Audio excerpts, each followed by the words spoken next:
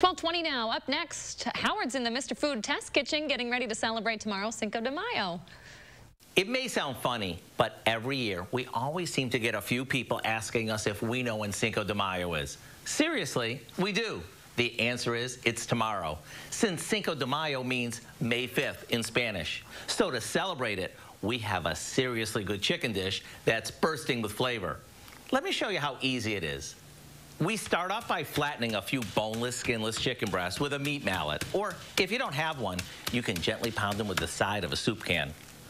On top of each, we place a quarter of a poblano chili pepper that we've seeded. And if you're not familiar with these, they're a mild chili pepper, and we can find them right next to all the other peppers in the market. Then some Monterey Jack cheese goes on top, and we roll them up, securing each one with a toothpick. Now we dip these in some beaten egg and bread them with some crushed nacho chips before baking them off. Right before they're done, we sprinkle on more cheese, this time shredded, and back into the oven they go. And when you cut into these, get ready for a fiesta of flavor.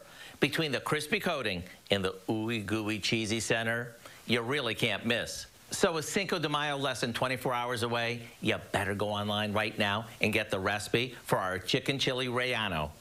I'm Howard in the Mr. Food Test Kitchen, where today we found a fun and festive way for you to say, ooh, it's so good.